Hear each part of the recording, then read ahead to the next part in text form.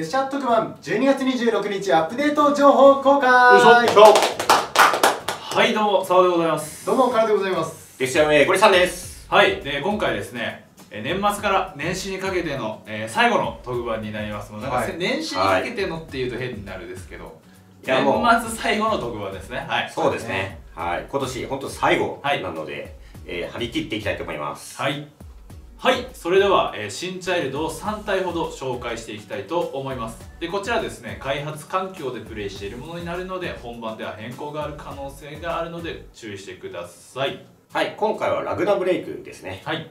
はい年始から始まるラグナブレイクになるんですけども、えーボスのルイン。はい。そして、えーその他に新しいチャイルドおう2体がいますのではいそちらを紹介していきたいと思います。はい、ありがとうございます。それでは、えーまずは今回のラグナブレイク紹介ありましたボスであるルインでございます。はい。はい、こんな感じでございます。いいですね槍がめちゃめちゃいいですね。え槍じゃなくてさ下半身が 露出度ゼロなのに下な。半身やばいです。すごいですねな何着てんですかねこれ、うん。ゴムですよね着てるの。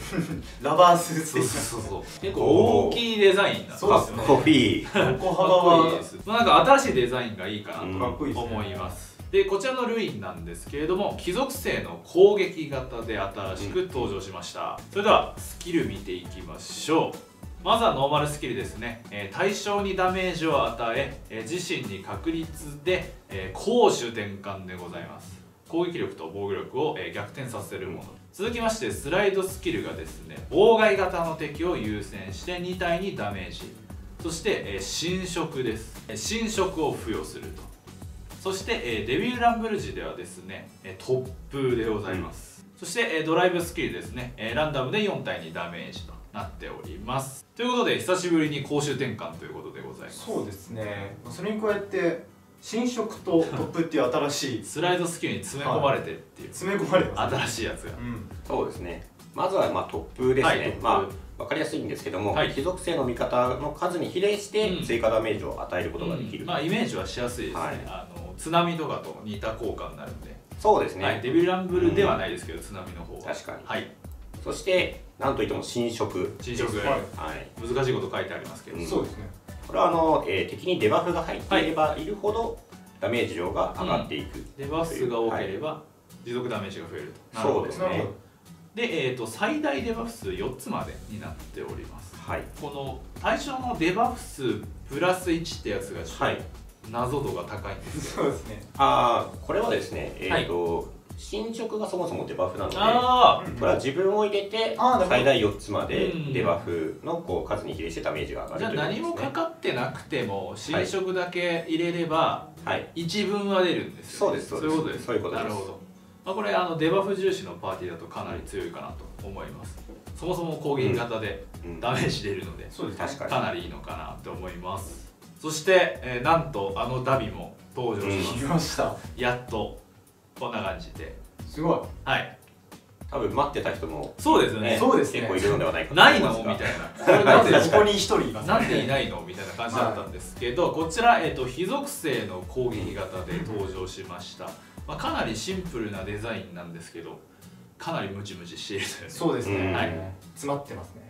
それではスキル見ていきましょう。まずはノーマルスキルですね。対象に、え3連打でございます。そして、えー防御無視ダメージ木属性の時に追加ダメージ。さらにレイドの時はですね自身に確率でオーバーロードでございます。続きましてスライドスキルですね、えーランダムで敵3体にダメージを与え忍耐爆発。そして最後ドライブスキルですね。敵全体にダメージを与ええー攻撃型の敵に追加ダメージが入るということになっております。オーバーロードが来ましたね。そうですね。エイプリルフールの？リザが。ロボリザ。うん。ロボリザが持っていた。ドライブスキルを除く、えー、全てのダメージプラス。で、えースラえースキルクールタイム増加。スキルゲージチャージ速度減少でね、まずは、まあ、スライドスキルの忍耐爆発っていうところとあとノーマルスキルでね連打が珍しいっていうね、まあ、忍耐絶対剥がすマンみたいな感じそうですね。確かにあとはそうですね、はい。オーバーロードはそのスキルが溜まりにくくなるデメリットもあるので、うん。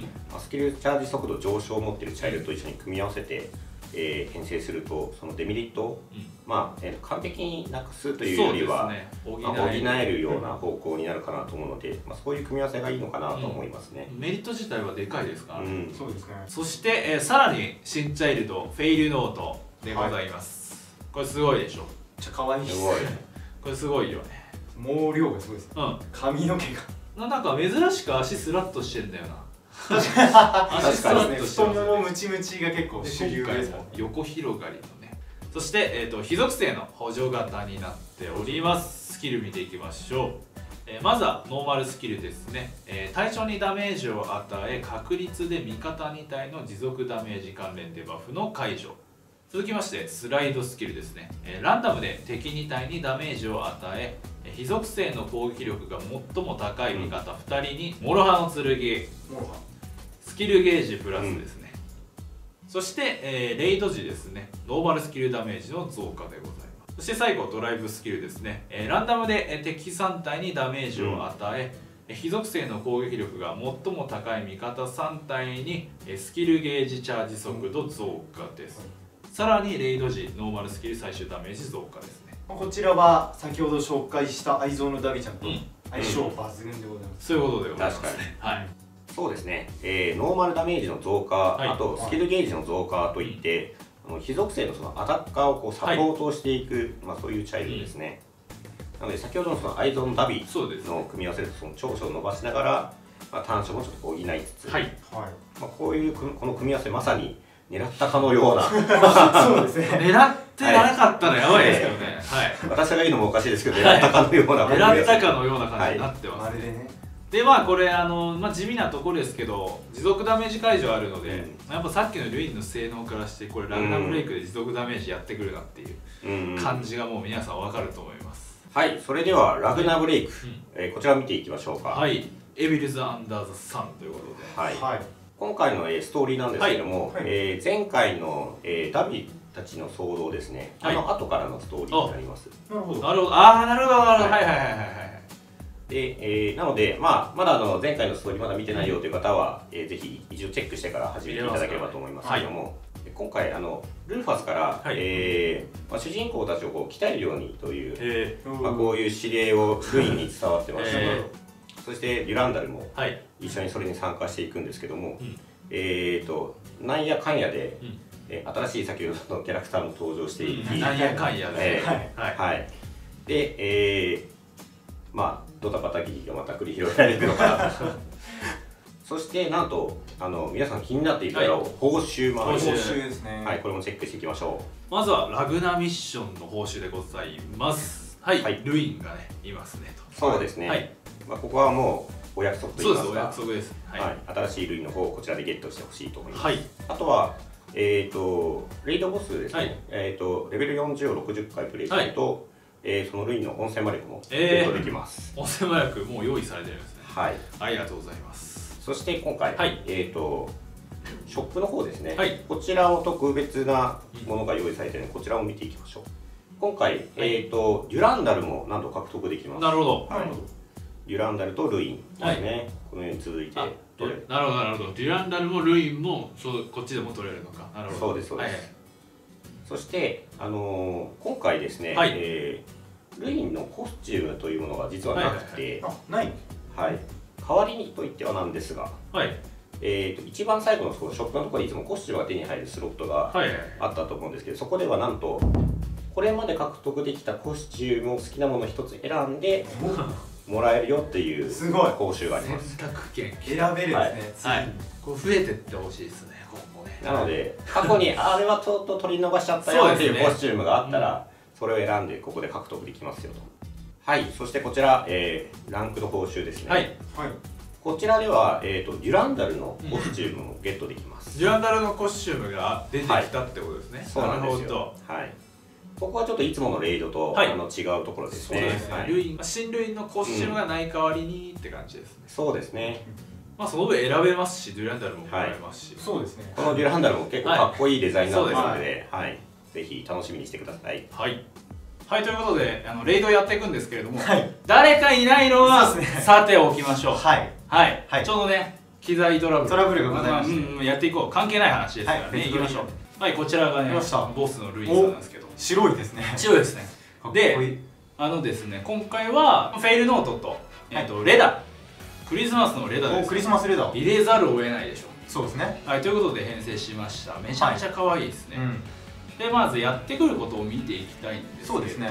はい。うん。新色。これ葉っぱのマーク。はいはいはい来てますこれね新色。であダビ。ダビのドライブスキル。はい。おえ？見てよ。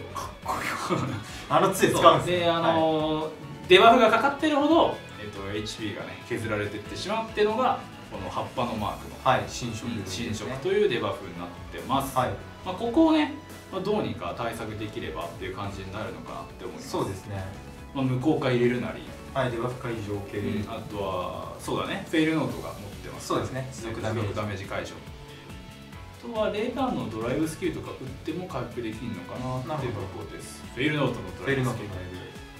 お弓がっつりいきますね。おなんか比喩が。攻撃型かのように。めっちゃかっこいいですね。はい。